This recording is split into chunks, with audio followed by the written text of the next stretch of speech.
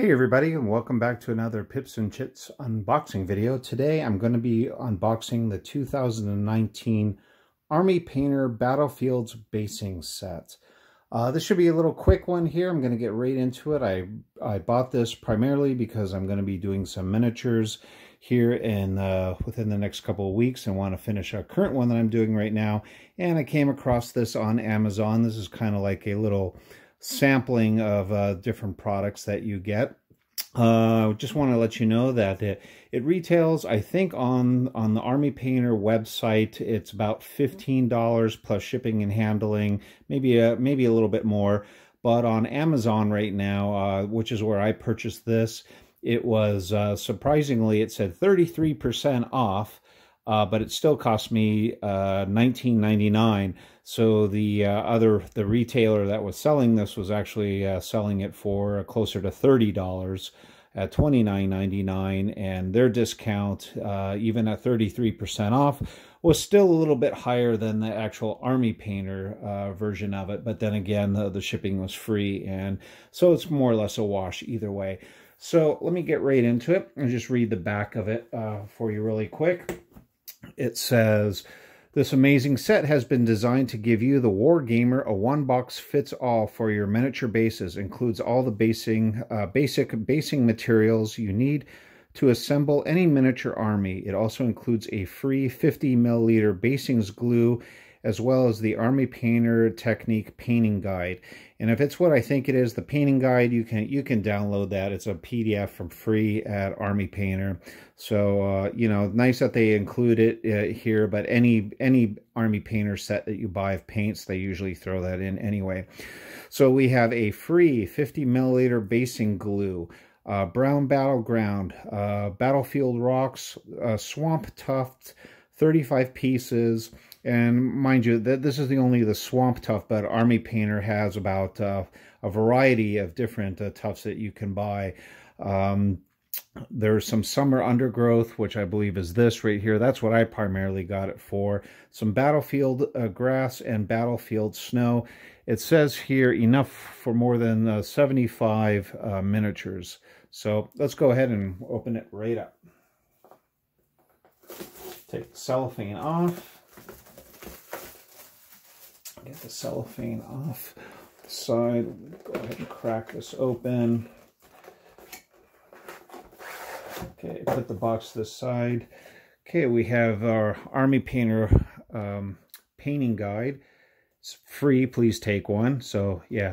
Uh, the nice thing, uh, though, is they do update this from time to time. I've been buying Army Painter stuff, little sets for a couple years now, and uh, I will have to say that they do a pretty decent job of uh, this guide is is is pretty nice, uh, kind of giving you their range of paints, uh, how how they make their models or kind of follow their effects on how to prep a model, how to uh, prime it, how to, to use the different paints and techniques. Uh, they have highlight charts. Actually, it's not too bad, but again, you can get a PDF, uh, all this stuff from their uh, website as well. But this is actually one of the nicer ones that I saw. Oh, and speaking of the tufts, remember I said they had swamp tuft. Uh, I've purchased myself in the in the past some of my models this um, uh, meadow meadow flowers. I've got the scorched tuft and the wasteland tuft, but you can see they have a variety. It looks like 12 different ones that you can buy right there. Okay, so let me go ahead and put the base aside. And let's open this up. Not too fancy of packaging. Do like to say, I do like the rocks. These look like more or less like cork. Here, I've made my own before, just actually taking cork from wine bottles and champagne bottles and uh, you know cutting it up doesn't come out as nice as this. This these have a little bit more random shapes to them and i'm sure you can break these up a little bit more as well. But uh, you can make your own using cork and an X-Acto knife. And as a matter of fact i'll i'll just show you here off camera. I uh, let me put some in my hand here.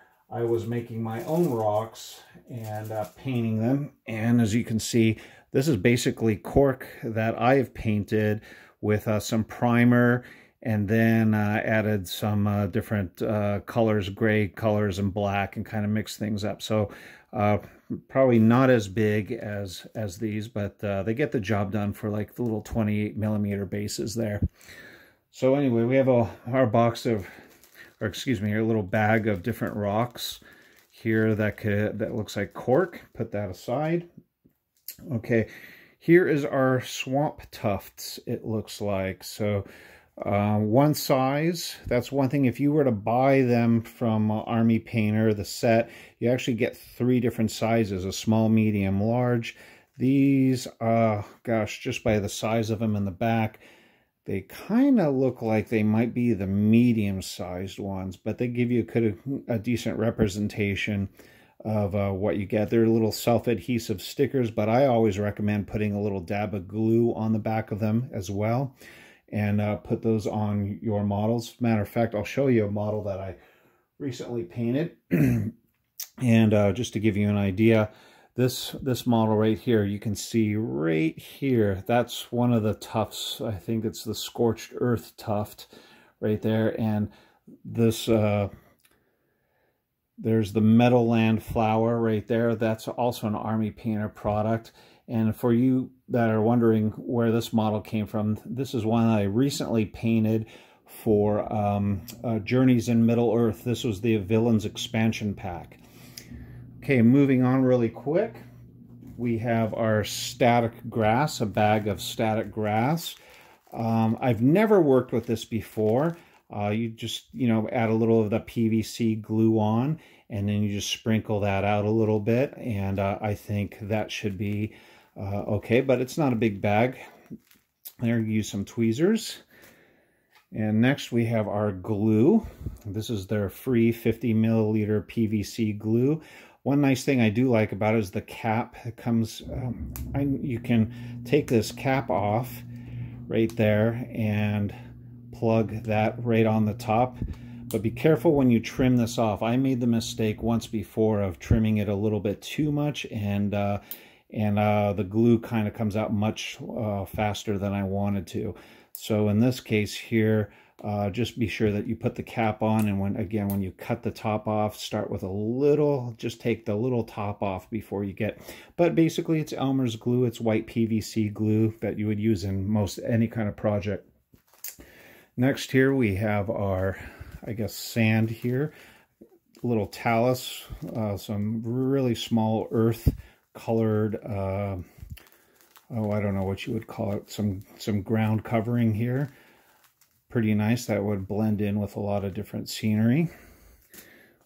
We have our bag of snow. I can say that I've never used this either. That'll be interesting to see how this works, but, uh, you know, don't let Pablo Escobar see what this is, if you catch my drift. But anyway, um, we got some snow here. Looks like it's just uh, there must be some static in the bag. I just kind of see how this is moving around in the bag and it's sticking to certain things. So could be uh, very susceptible to static. But the same thing, sprinkle a little bit on, um, you know, dust it off, and that's, there's your snow effect. And then finally, we have a bag of summer growth. And this is really nice. I didn't realize that you got a variety of different colors. I thought from the box um, here that we only got one color, but it appears that we've got three different colors. We've got uh, kind of a, a yellowish green, a more like a forest green, and I wouldn't say it's neon green, but I don't know, swamp green or kind of a, a really bright green, but that's pretty interesting there. So you have um, a, a bag of of, uh, what do you call that again? What was it called one more time? Summer Undergrowth, but you get three different flavors of that. Anyway, there you go. That's the Army Painter uh, Battlefields basing set. I hope you enjoyed the video. If so, go ahead and click like and uh, send me a note. Let me know what you think. And again, all this could be yours for roughly about $20. Thank you very much.